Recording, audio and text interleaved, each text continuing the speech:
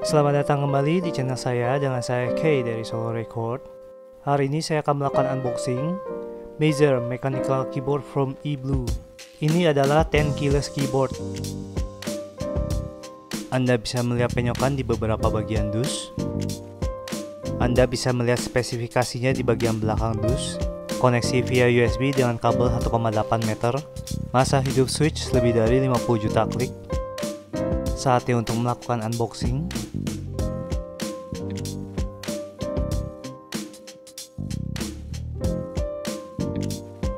Anda dapat langsung melihat keyboardnya ketika Anda membuka boxnya.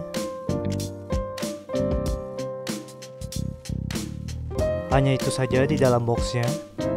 Ini adalah buku manualnya. Mari kita langsung lihat keyboardnya. Ini adalah kabel 1,8 meter yang tidak dapat dilepas. Koneksi langsung dengan komputer menggunakan USB-A.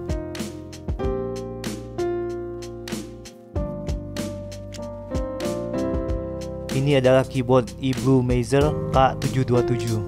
Terdapat stiker yang ditinggalkan oleh pemilik sebelumnya. Kutipan dari Jody Pickhold. Terdapat shortcut di bagian belakang keyboard.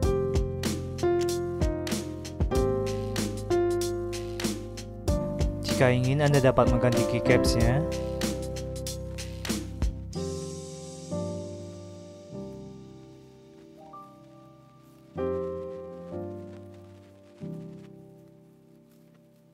Keyboard ini menggunakan switch biru. Switch biru menghasilkan suara yang clicky, seperti ini.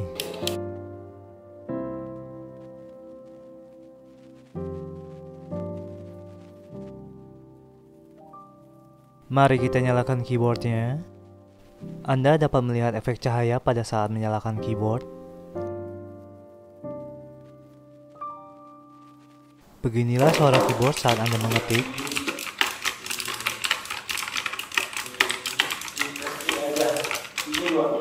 Ada beberapa mode efek cahaya yang bisa Anda pilih. Anda dapat melihat instruksinya di bagian belakang keyboard.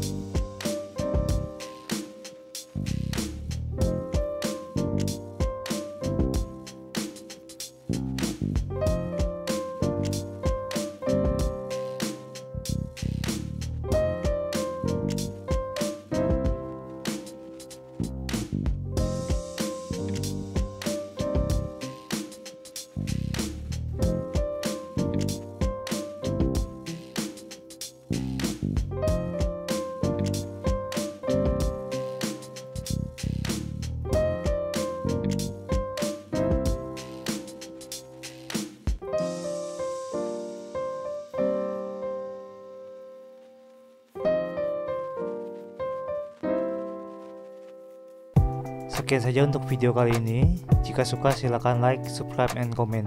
Video ini disponsori oleh Alpha Store. Silahkan mengecek tokonya pada link di bawah ini. Terima kasih.